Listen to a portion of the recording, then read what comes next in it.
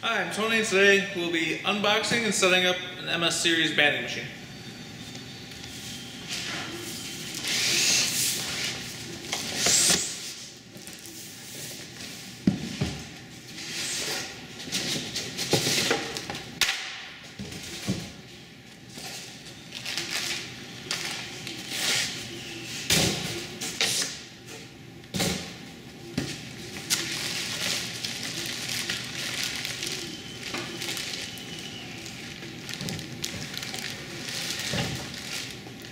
Your MS banding machine will come with back and side product guides, a power cord, your operations manual with spare heater sheets and heater sheet removal tool.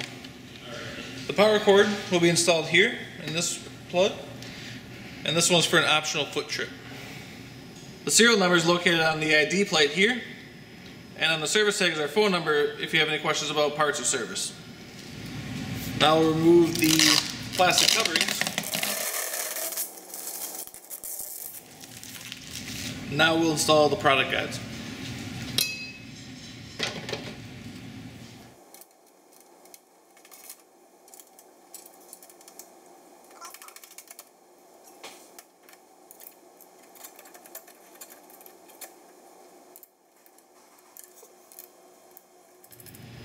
Now I'm going to go through the basic controls of the machine.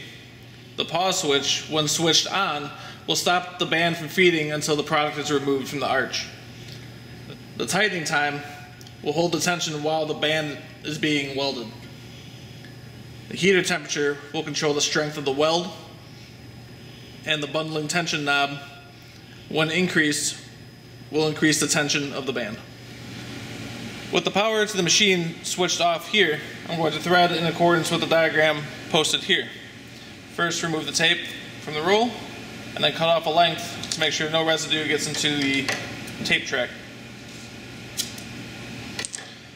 Then place it onto the spindle, and making sure it's pushing the center, and that the, the end of the material is coming off the bottom of the roll. Then we will feed it into the feed track here. You may need to lift up on the feed roller.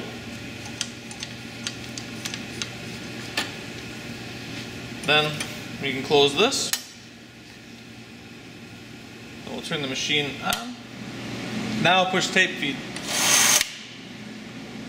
Now the machine will be in manual, so you have to push the start button for a cycle to happen.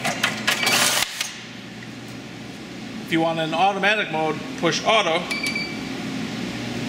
then the photo sensor will activate a cycle.